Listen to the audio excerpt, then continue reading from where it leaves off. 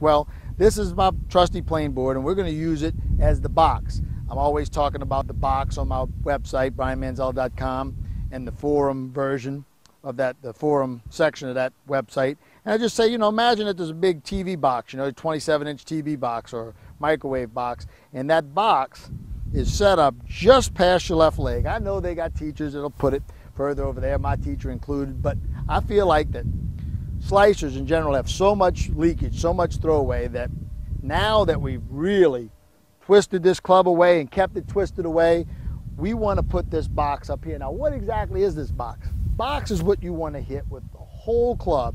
You want to take this whole shaft of this club that's facing away from you right here. You want to get it down playing with axis tilt. You want to drag that sweet spot to the ball. You want to have your hip kind of stop right here so your arms can start swinging across your chest and you hit that ball, the inside back of that ball on the way down, on the way to putting that whole club on that box.